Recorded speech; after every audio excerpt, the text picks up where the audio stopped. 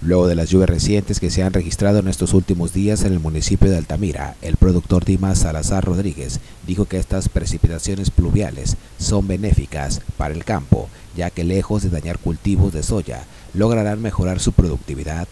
Puntualizó que el municipio de Altamira ocupa el primer lugar en siembra y producción de soya a nivel nacional.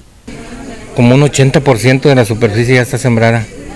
Uh, faltan algunos porque las lluvias, las lluvias han seguido permeando aquí en la, en la zona y han, han evitado que, que, la siembra siga. Tiene que haber un punto de tierra para poder sembrar la tierra, pero ya este, yo creo que es, un, es algo placentero saber que ya la mayoría de los ejidatarios, de la gente de, de los productores rurales ya establecieron su cultivo de soya. ¿Se logró el establecer el cultivo? Sí, claro, claro, eh, hubo por ahí una reunión de desarrollo rural donde donde se hizo una prolongación de la fecha de siembra, el vencimiento era el 10 de, el 10 de julio, entonces hizo una prolongación de la siembra.